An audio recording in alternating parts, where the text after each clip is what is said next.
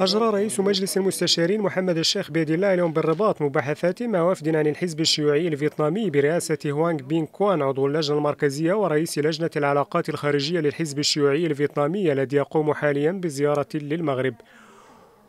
وخلال اللقاء استعرض الجانبان سبل تعزيز التعاون الثنائي بين البرلمان المغربي والجمعية الوطنية الفيتنامية بغية توطيد العلاقات بين البلدين.